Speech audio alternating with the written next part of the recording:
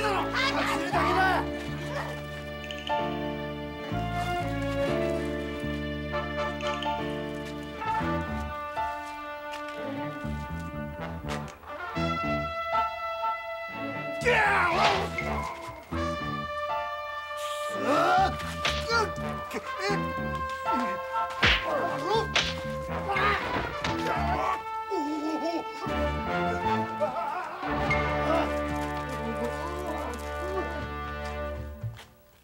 しもう大丈夫だ。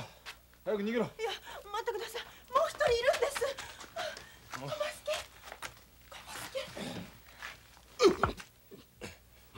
家よし。早く逃げろ。あの。行っておしまいになるんですか？え？だから早く逃げろって。ここで放り出されたら何にもなりゃしない。あいつらまた追っかけてきますよ。なるほどな仏作って魂入れずね宿まで送ってくださいよ。なるほど。それはお玉さんの言う通りだな。私を？知ってるさ。奥山の綱渡りのお玉さん。それからこっちが玉乗りの駒助さんだろ。こいつはいいや。行きましょう。行きましょう。お願いします。さいやちょっとちょっと待って。ああダメだ俺はダメなんだ。女の匂い大嫌いなんだ。お嘘ばっかり。お玉さんの言う通りだよ。懲りずにまた来やがった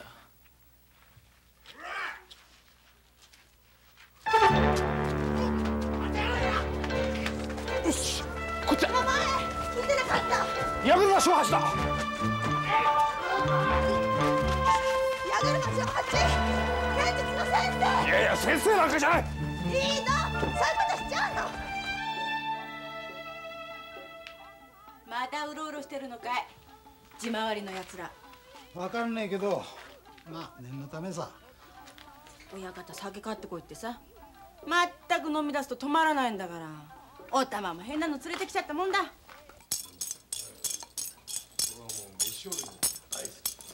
そうですかい先生は軽技がお好きなんですかい？いやー好きなんてもんじゃない。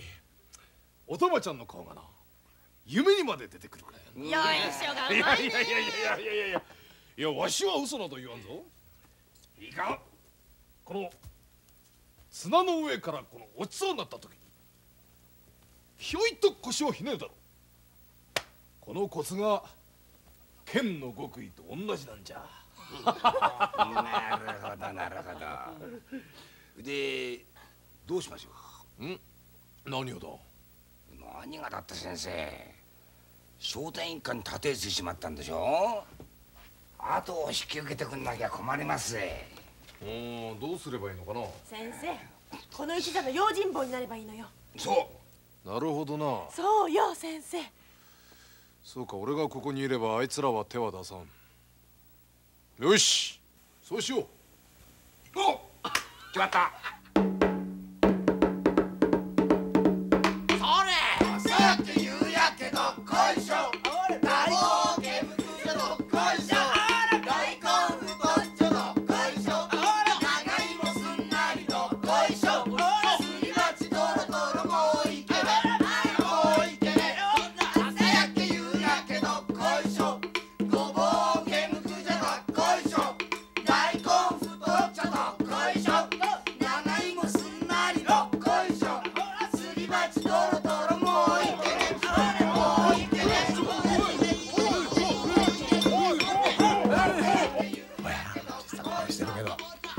本当に出んだろうな。わかんないよ。私は見たわけじゃないんだから。見てごらんよ。頭の目つき。初めて見たなお玉のあんな目つき。一目惚れでもしちゃったのがね。先 生、先生のお部屋はここ。ああここかはい。こますかああ、先生、危ない、危ない。いやいや抜いてみただけじゃあおやすみなさい。うーん。あ飲んだ飲んだ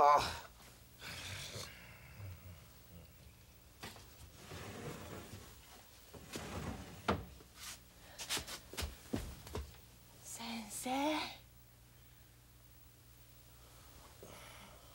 もう寝ちゃったの？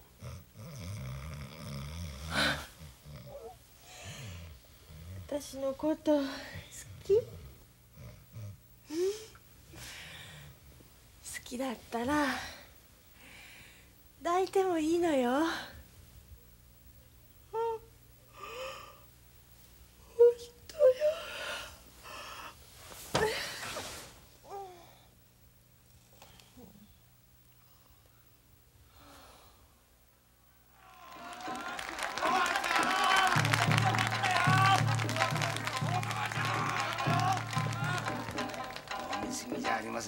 生。ああ退屈なものだ。用心棒などというもの酒を飲むより手はない。しかしよく銭が続きますな。本当は先生盗賊の親玉だって。誰が？お島さん。俺にそんな度胸があれば酒なんぞ飲まない。いつから浪人なさってるんです？子供の時からだなだがもう飽きた。そうだ。親方。俺に軽業をやらせてくれ。できればお玉と組んでやりたいんだが。先生に軽業なんかできるんですか？お酒飲みすぎて頭がおかしくなったんじゃないの？出し物を考えとこう。その必要はありませんぜこの江戸は明日いっぱいで打ち上げでさ。何？本当中山道をずーっと。本当に本当か？先生？私のどこが気に入ったの？うん？まあ身のこなしの軽いとこだ。それから綱渡りをしてるから肉がギュッと締まってるんじゃないかと思ったな ま あいずれ誰かのものになる。それならいっそのこと。先生？女を見る目ないんですね。そうか。もう遅かったか？すいませんね。12の時前の親方に拾われて根っからの芸人だもの。もうあっちこっち。男の数だって数知れぬくらい今の親方の一座に来てからはぷっつり男立ちしました。うん？どうしてだ？本当に好きな人が現れるまではそう思って。現れたか？はい。そう簡単に納得されちゃう。ん？かなわんな。どうぞ私何にもあげるものありませんから。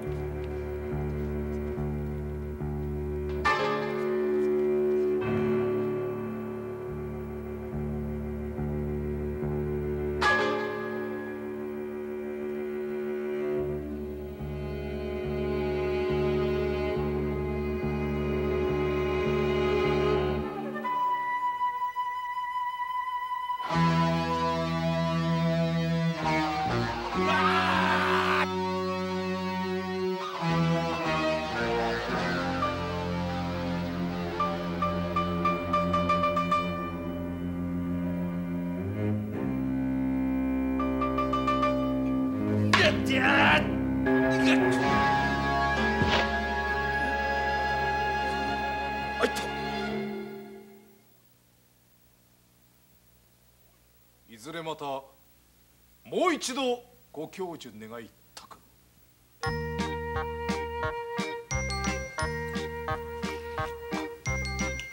少でござるいくらだ？五両。結構だ。拙者お手前をどこかで見た記憶がある。待てよ。どうしても思い出してくれる。そうだ。お手前が子供の頃のことだ。その顔は紛れもなくあの時の飲州の道場で。そうであろう。そうに違いない。15年前。よう成人なされた。憲法者の子はそうでのうてはならぬ。西王子お手前は親父のことを知っておられるのか？知っておるどころではない。実は。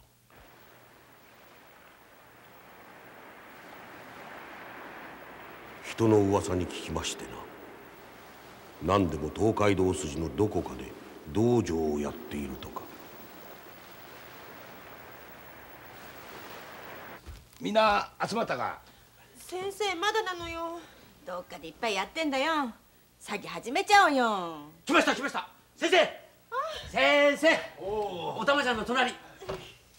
なんだなんだ？あ？さらばお江戸八百夜町という日にしちゃしけた料理が並んでるな。親方ええ。ちょいと芽が出たんだ。これで八百膳の料理でも取ってくれないか先生。先生どうしたのよこのお金。うん？だからちょっと芽が出たんだ。いついつドバなんか行ったの？昨べは私とずっと一緒だったし出かけたのほんのさっき一時ほど。だからいいの。そこで芽が出たんだ。先生博打なんかなさるんですか？うん。いや盗んだ金をどうか隠してそいつをちょいちょいとなんでもいいじゃねえかよ。親方せっかくだいただいてパッと行きましょう。私あの八百膳一っ走り行ってまいりました。武士に二言はない。安心して使ってくれ。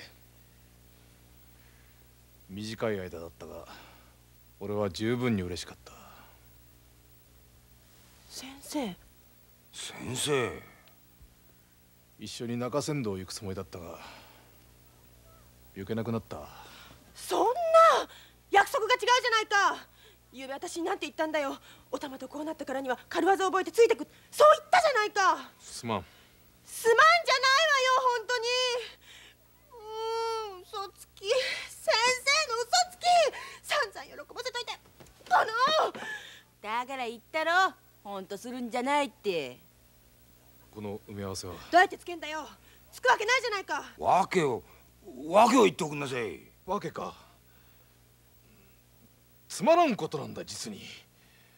そのさっき人相見が俺の顔見てこう言ったんだ。思想が現れてる。まあそこで俺は銭を払ったな。乾の方角を避け猿の方角に三月も避けておけばその思想が消えるという。ところが中山道はちょうどここから乾。が死んだらおたまちゃんがかわいそうだ。そう思ってな。親方それじゃあ中山道よしにしましょうよ。中山道中止して東海道行きゃいいじゃない。東海道は猿の方角。ね親方そうしましょう。そうしてください。お願い。そうすりゃ先生ついてくるんだから。そんなことはできねえ。もう方々へ手紙出しちまった。よお玉の都合でなことはできねえ。親方だったら私やめる。このうちさ抜けちゃう。お玉。おたまちゃん。本気？おたまさんやめたらお客入んない。しょうがねえな。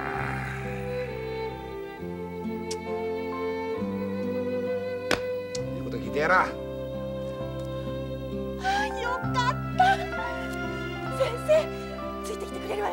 ねね先生。おたま。俺は今日からきっぱりと酒をやめるぞ。酒を飲んで芸を見せて木戸線を取っちゃ申し訳が立たん。私も先生私もお酒やめる。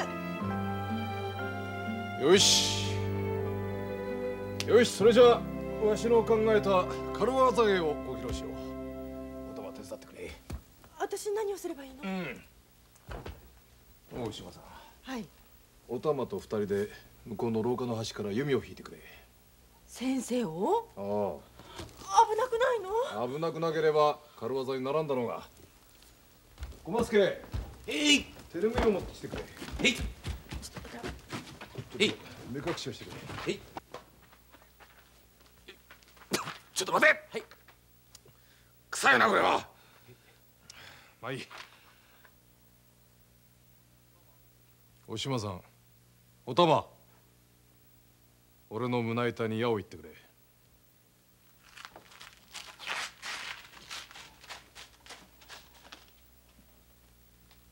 遠慮するな。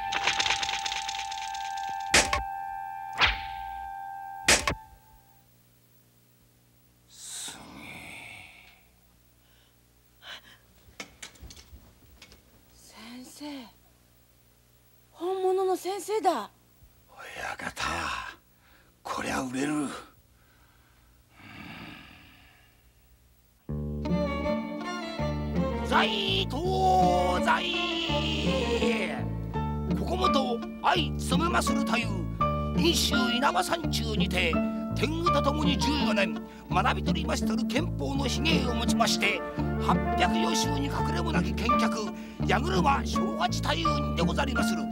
ただいまより演じまするは火や打ち取りの術居合入りの秘術盛りだくさんにご覧に興じますれば何とぞよろしく御願い上げとて祭りまする。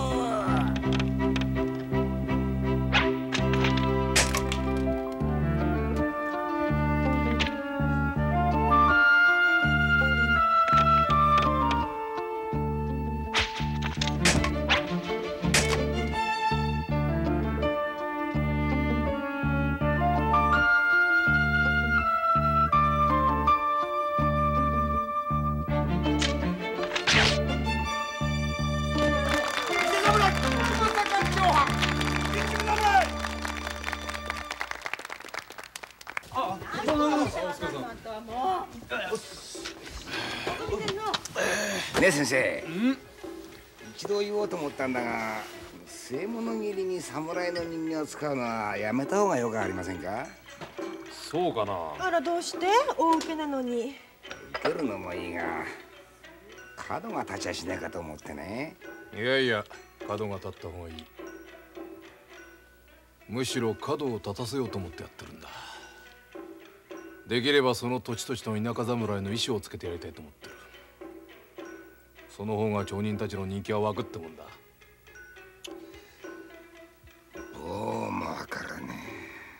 方先生のやることにケチつけんのか？い大変だ侍がここに文句言いに来た。先生おたまはいどこ隠れちゃっとください隠れたってしょうがないじゃないかよ。おい貴様がさっき舞台に言ったことをもう一度申してみよそんなことは何度でも言う。ここは手狭だ。裏へ行こ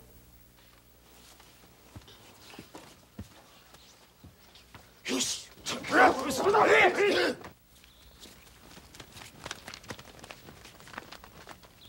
さてお運びの衆もともと憲法などというものはこの太平の世の中に全く無用のものである憲法の奥義を極める暇があったら浮世蓄財の道を勤しむ方がはるかに利口である拙者いかんながら憲法ごときくだらぬものを身につけたれば各は軽業一家のご厄介になりおる次第。まずは都在待て！貴様それは本音か？軽業のための工場か？本音だ。貴様は偽侍というものがある。軽業しか？侍か？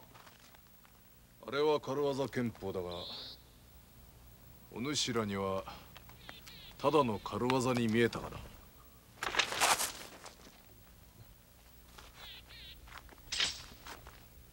種も仕掛けもござらん。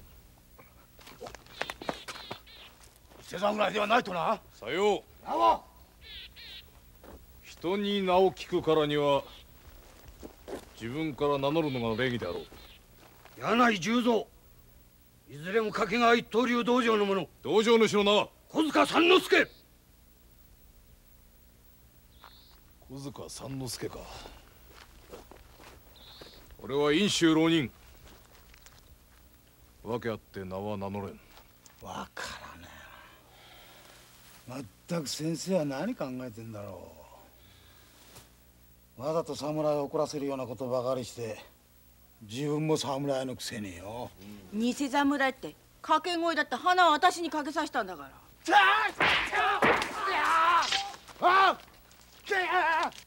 おたまちゃん先生一体何考えてるかわかるかい分かっても分かんなくてもいいの。私は先生についてくだけなんだから。ただねこれ私の勘なんだけどさ先生はよっぽど悲しいことがあったんだよ。剣術のことで。世の中から剣術使いなんてものをなくしてしまいたいのさ。だから自分をバカにして剣術をバカにして軽業にしちゃってさ。うまく言えないんだけど。そういうことなんだよ。とにかく先生ほどの人はいないのよ。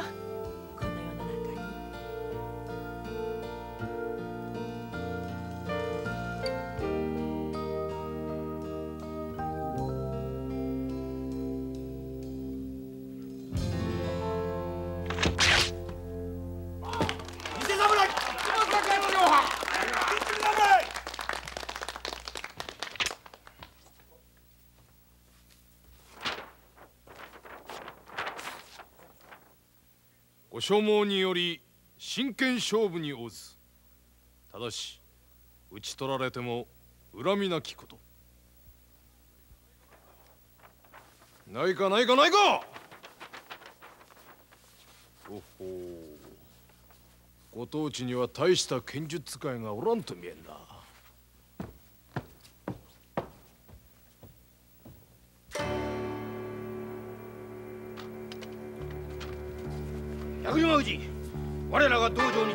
行ってご教授願いたい。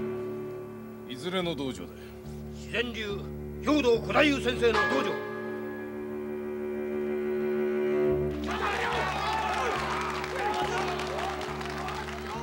教授するなれば授業料をいただかねばならん。何？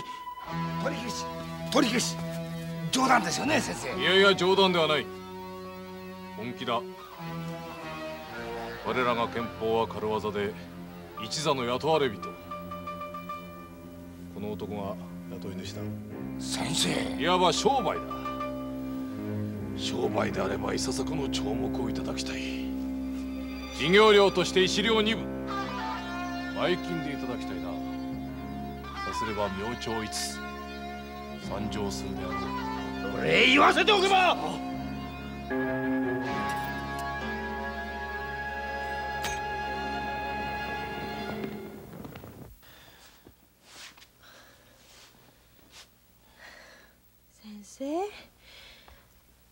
うしたんです。何が？いつもと違ってた。そうか。どう違ってた？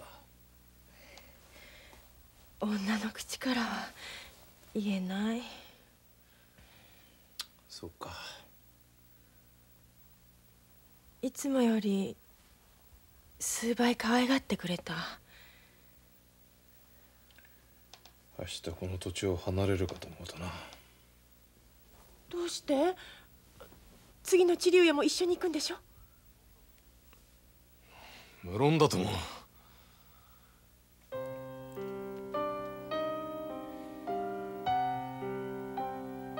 お玉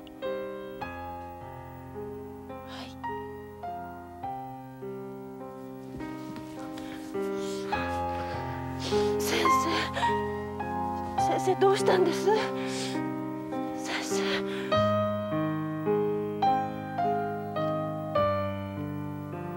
おたま。あの先生のことは忘れちまえ。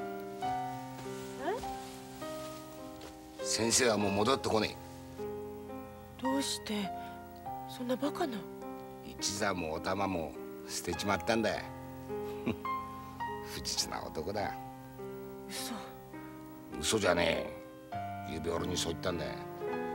おめえのことなんざ何とも思ってねえってよ。ただの行きずりの女だってさ。忘れちまえ忘れちまえあんなやつ嘘。嘘じゃね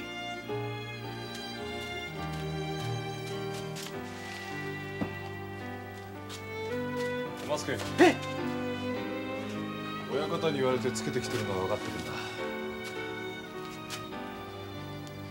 だがな俺は逃げるわけにはいかんのだ。ついてこい！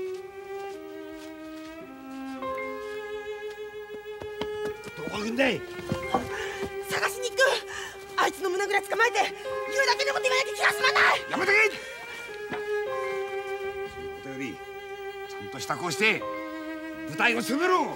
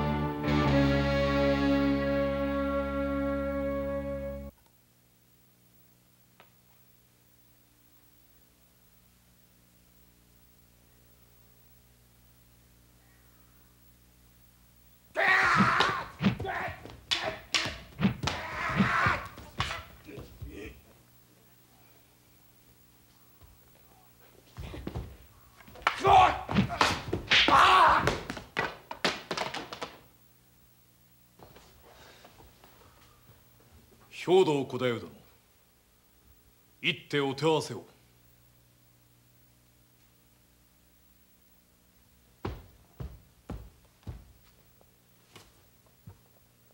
何とぞ。足元の明るいうちに軽業小屋へ帰れ。江戸よりはるばるご公明を慕って訪ねてまいったものです。分不相は分かっております。どうかどうか？軽業芸人と勝負をかける気はない。小屋へ帰れ。帰れと申しておる。ならば真剣にて勝負を。何？真剣にて。貴様切られたいのか？切りたいのです。兵道殿には15年前陰州の反道場で道場師範と技を争われた覚えがありますな。俺はその記憶だけをよすがとしてこの15年を生きてきた。すると貴様は兵道殿に打ちのめされて腹を切って相果てた。松前一角の意志親父との約束なれば何とぞ真剣にて。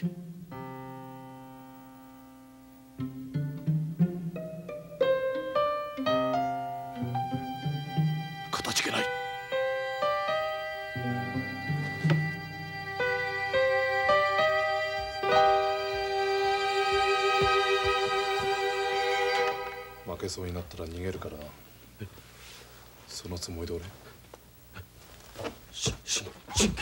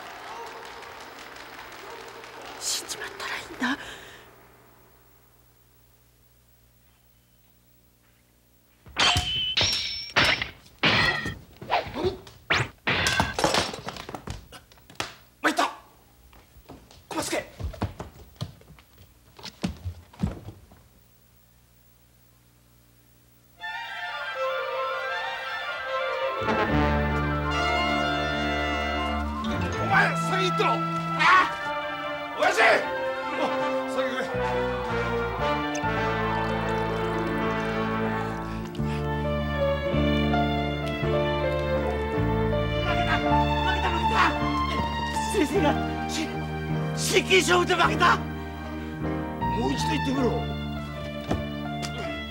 先生がどうしたって？どこで見たのさ？どこで何を？だから真剣勝負で。死んだの？負けたのはわしの方だ。あやつの木先の方が。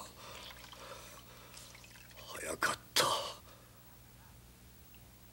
だから先生は負けたけど逃げ足が素晴らしかったってことよ。生きてんだね。うん。負けたんだから全部終わるよ。連中はもう来ねえと思うな。どうして一緒に逃げてこないんだよ。お前だけ逃げてきたってしょうがないじゃないか。親方なんであんな嘘言ったんだよ。先生は売られた喧嘩を買いに行っただけじゃないか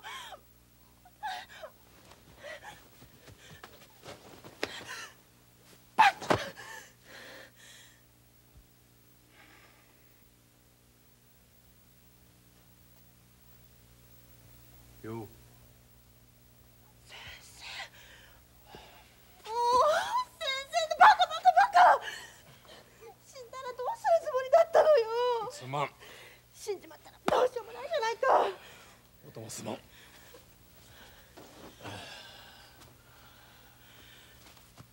あ先生お酒飲んでる。先生二月も飲んでないんだよ。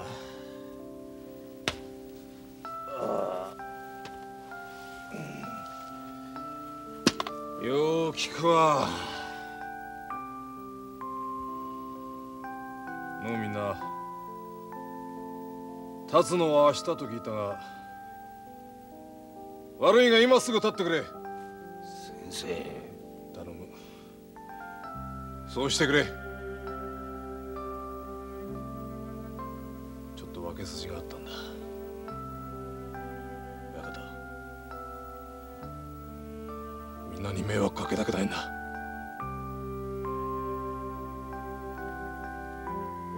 両替しおみんな支度しろ。すまん。しかし先生どうして戻ってきなすったい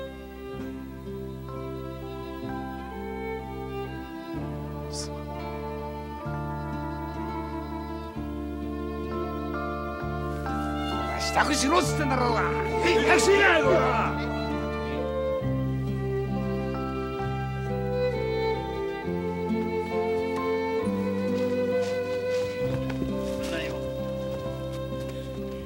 生私覚悟はしてるんだから本当のこと言ってちょうだい。怖い顔だな。お酒を飲み始めたってことは軽業をやめるってことただ飲みたくなっただけだ。本そうだ。当夕べの今朝何かがあって何かが終わった。なんでもない。なんでもないさあ支度だ支度ほら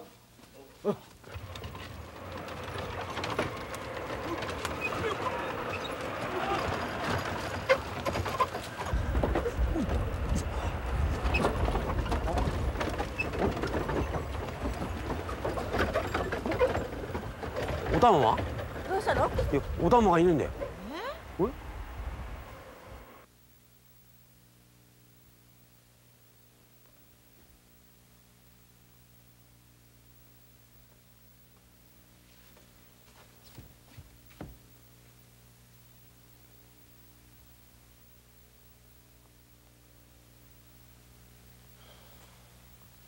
来ちまったんじゃしょうがないな何でもないなんて嘘つき。いや。追っ手を片付けておかないと面倒になる。そう思ってな。小増家から聞いたよ。先生は敵を討ったんだね。兵道小太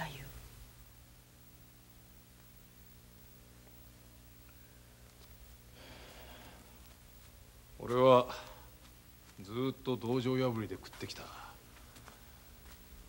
そんな時西尾という剣術界にあったんだ。奴は15年前を思い出した。15年前。陰州の剣術の師範だった親父のところへやってきた道場破りが兵道小太夫。奴は親父の膝を打ち砕いた。ひざまついた親父の肩を力いっぱいもう一度打った。親父は屈辱で腹を切った。その兵道が東海道筋のどっかにいるらしいと西尾から聞いたんだ。それで中山道をやめさせて侍をコケにして引き寄せては名前を聞いたり。お玉と一緒にいながら探すにはその手しかなかったんだ。帰るんだ先生は。無事本会を遂げて飲酒へ帰るんだ。帰って仕官するんだろ。ご指南役300石ぐらいかな。飲酒には親代わりに俺を育ててくれたおじもおばもおる親父の墓もある。一度は帰らねばならんだろう。一度はなんて帰ってくるわけないじゃないか。いい加減なことは言わないもんだ。お侍は結局お侍さ。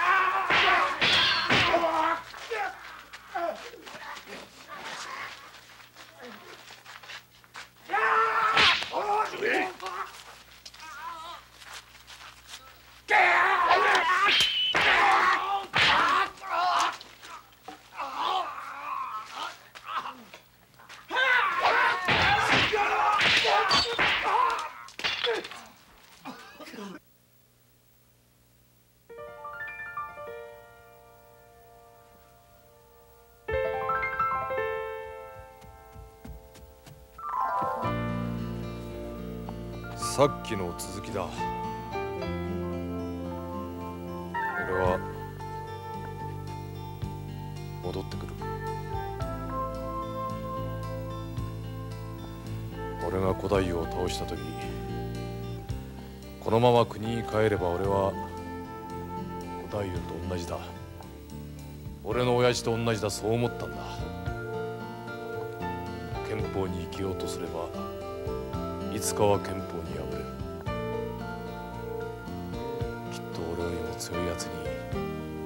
つかは取って代わられることをビクビク恐れながら暮らさねばならん。そんな暮らしが俺にできるか？